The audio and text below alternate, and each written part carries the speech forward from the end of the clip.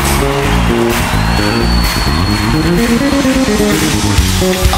to turn this place into a Holy Ghost dance party?